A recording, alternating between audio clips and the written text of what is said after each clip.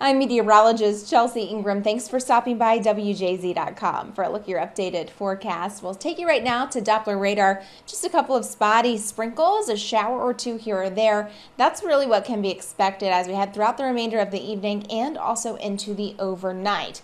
Otherwise, it's certainly a lot quieter compared to what we dealt with this time yesterday. So here's a look at that spotty sprinkle chance. Overall, we'll see some fog developing overnight, courtesy of that easterly wind component, very little wind, and we have just a lot of moisture in the atmosphere. There could be a thunderstorm south of Baltimore as we start out the morning on Wednesday. Otherwise, some breaks of sunshine expected after lunchtime, and then after about 4 p.m., we'll have another risk for some showers and storms pushing through. For tonight, look for an overnight low temperature of 71 with areas of drizzle and fog. And then tomorrow, we start out the morning with temps in the low 70s with that morning sprinkle chance. Breaks of sun, a thunderstorm heading into the middle of the day, high around 86 degrees. And by evening, mostly cloudy. You can look for temperatures dropping into the upper 70s around 7 o'clock.